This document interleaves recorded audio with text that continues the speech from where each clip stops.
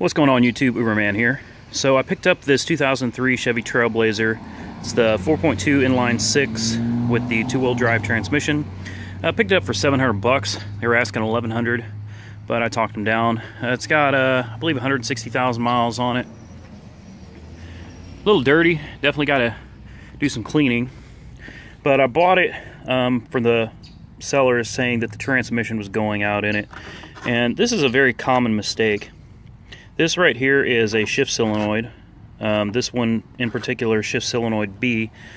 The uh, transmission was stuck in third gear. Um, it'd go in reverse just fine, good power in reverse, but as soon as you put it into drive, uh, no power at all. Um, very difficult to drive that way. And, you know, I drove it around, it seemed to drive fine. And then uh, this is where you find out a lot about how your transmission's doing internally is when you take the pan off I've seen uh, I've seen fluid in better condition. I've seen fluid in worse condition. But regardless of what the fluid actually looks like, what I'm looking for in the bottom of this pan are thick shards of metal. And as you can see, there are none. There's a little bit of discoloration. There's definitely some metal. This is a uh, pickup magnet. And what is on that magnet is actually a bunch of friction material. I'm going to show you guys what I'm talking about. This goo right here, this black tar looking goo, is actually metal. And that's normal. That's what the magnet's in there for. It's to pick up uh, friction material from the clutches as the vehicle is driven and as it ages, it loses friction material. Instead of circulating it through the fluid, we uh, have it attached to this magnet. You get a little bit of discoloration in the pan here. That's normal, cleans up. So what I'm seeing, um, I ran a diagnostic. That's the first thing I did. And upon running the diagnostic, it uh, very clearly gave me a code for the Shift B solenoid, which controls, uh, I believe it's second to third gear shifting. And we're going to go under here now so you can get a look at the transmission. Um, as you can see, these Trailblazers, I, I got to give them a lot of credit. These things are tough. Um, they usually last a long time. I've seen these things go over 300,000 miles on the original components. There's nothing leaking under here. I mean, nothing. There's the engine, what I can get of it for you. And not a drop of anything leaking under this truck. Here's the transmission again. Nothing leaking under this truck at all. Except for where I've torn the transmission apart here. Uh, very easy to do. Took the uh, pan off. I got a new filter. I'm going to drop that here in a minute. I've been letting it drip dry. But uh, you've got a solenoid right here.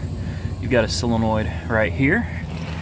Then when you get further under here, you've got a solenoid right here where this plastic clip is. You've got another solenoid that used to attach here, and that's the one that's on top of the truck. And then this is basically, this right here is a connector plate, and you've got an entire wiring harness that runs under here and runs to a connector up the other side. But uh, sometimes this plate will go bad Sorry, I'm not even pointing at. Sometimes this plate will go bad. You got to replace it, and uh, occasionally you'll need to replace entire wiring harness. But either way, this is a very cheap fix, especially when it comes down to replacing one of these transmissions. Um, brand new, remanufactured. You can get a 4L60E or the EHD or the 4L70E. They're all pretty much the same transmission. But uh, these things run new around $1,100, and that's without being installed. So, you know, it's pretty expensive and the part to fix this was $26. So, you know, do the math.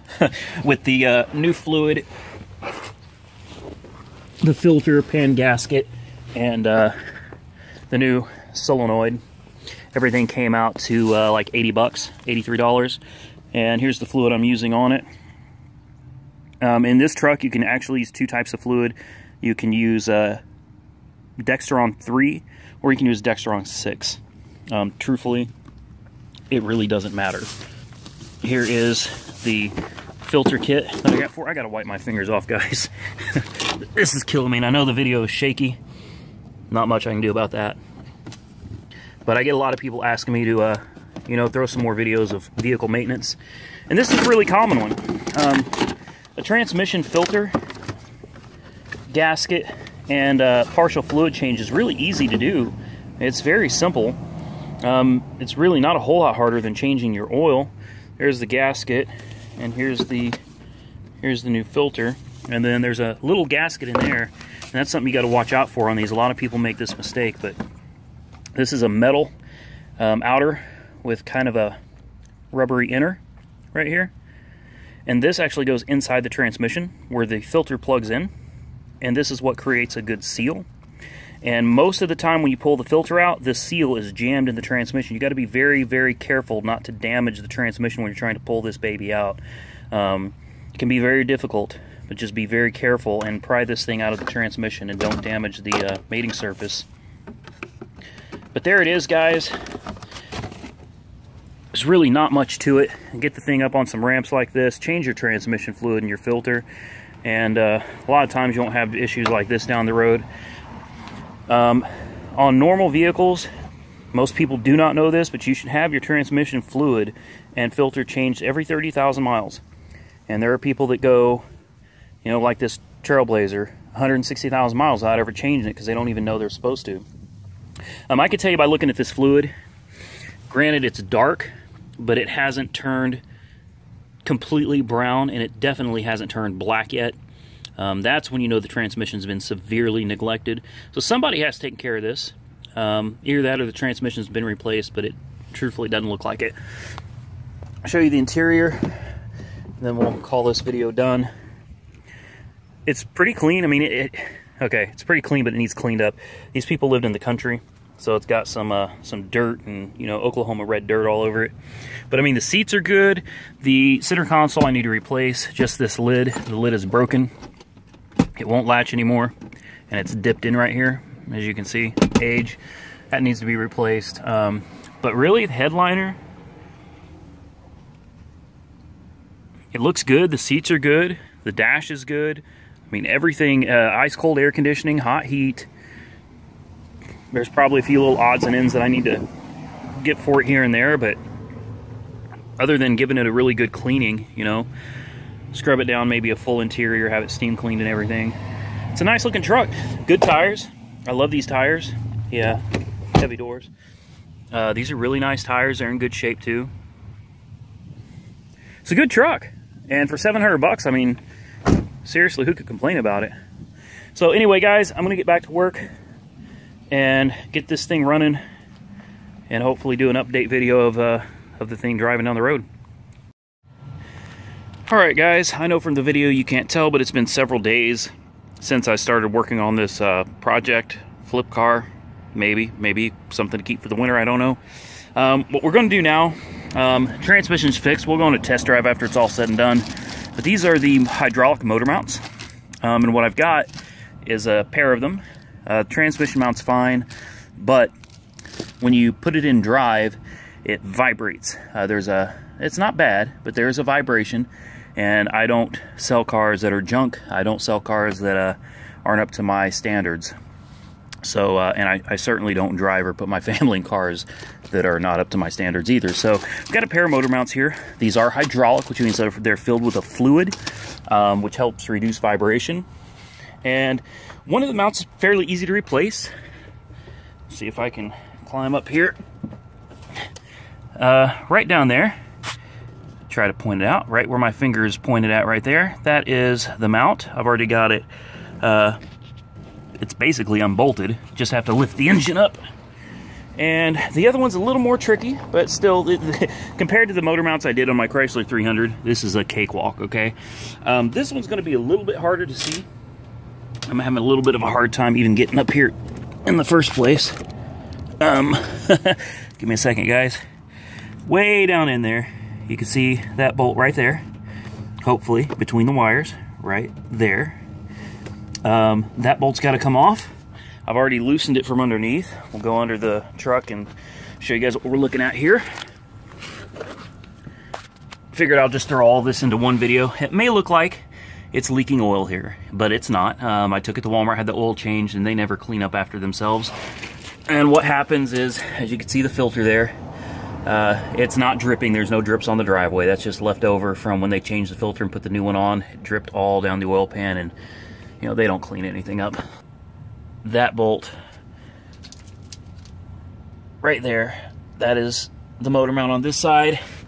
And on this side, obviously, right there is the motor mount. I've already got unbolted. And the way this works, um, there's not a lot of room to jack this engine up to remove both mounts at the same time, so you have to loosen one mount, just a hair, unbolt the other one completely, and then I'll put a block of wood on this side of the engine, and I'll start jacking it up from this side of the oil pan, which will cause the motor to tilt up this way, giving me enough clearance to remove the mount on that side without doing any other real disassembly. Um, and then as I put this one down, we'll do the same thing for the other side. I'm not going to do a video of this. It's just me, and that's way too much work. But uh, if you've got a Trailblazer and you need motor mounts, this will give you an idea of how to do it yourself. Okay, so here's the finished product.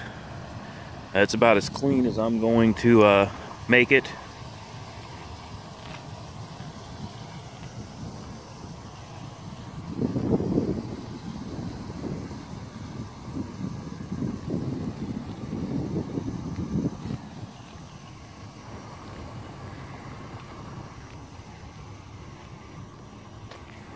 This is the $700 truck that uh, I will be listing here in just a little bit for, uh, I'm guessing about 25 and I'm probably going to stick firm to that. I don't think I'm going to come off at 25 at all.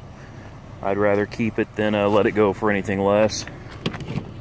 Got it all cleaned up now.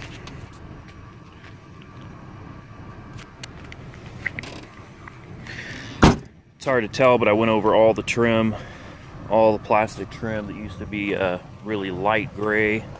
The running boards used to be a really faded out gray. The uh, front bumper all over there used to be all faded. The windshield wipers are, that was all faded as well.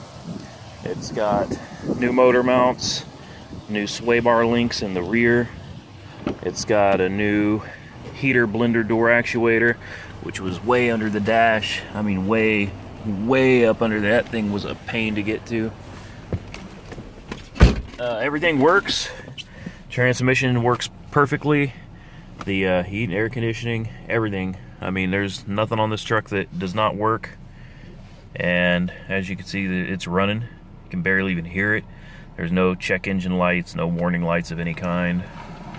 So, after all this work, we're going to take it for a quick test drive. This thing is so smooth. It's ridiculous how smooth it is now.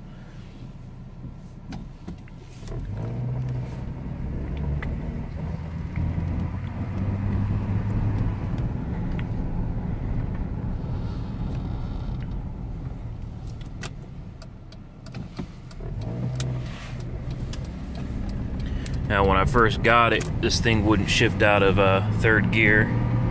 As you can see, we've got first gear and even know if I'll get it up to a speed where we'll need to go past first, but we'll try.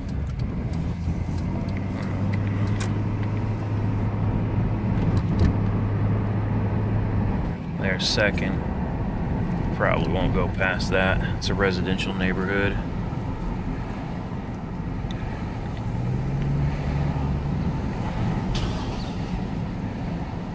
Crazy kids.